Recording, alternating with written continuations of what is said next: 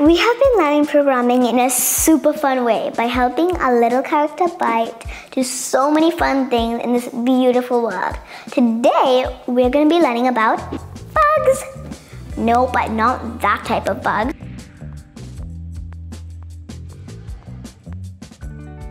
Hi, my name is Sahana. I'm seven years old. I've been doing Swift programming since I was five years old. Swift programming is a language that people use to make real apps on iPhone, iPad, computer, and laptops. In this series of videos, I want to teach you from the basics of programming to a higher level so that maybe, maybe when you're older, you can make your own apps. So let's get started. Sometimes we make mistakes. Sometimes we make mistakes while coding. Believe it or not, even grown-up programmers make mistakes. I'm talking bug is just a mistake that we make that stops a program from doing what we want it to do. Let's get started on this puzzle.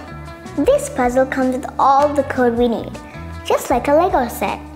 But the thing is, all the pieces are all jumbled up. And because it's jumbled up, that causes the bug. It's our job to fix the bugs up. First, Let's find this bug and then let's see how to fix it. So let's run our code and first see what we're kind of working with here. Ah, all right.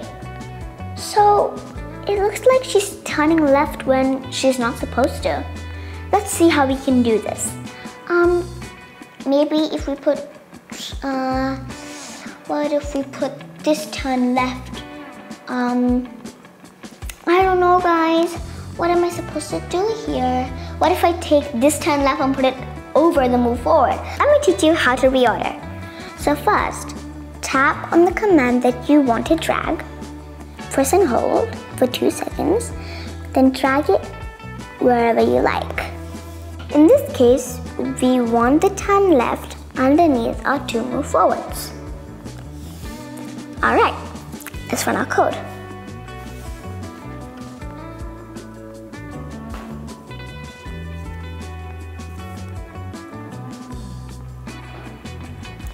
Woohoo! Today we learned how to find bugs and fix them. Fixing bugs is called debugging. In the next video, we are going to get more practice for debugging. If you want to know when my next video is going to come out, just subscribe. And as always, I am so happy that you're coding with me. So, bye for now.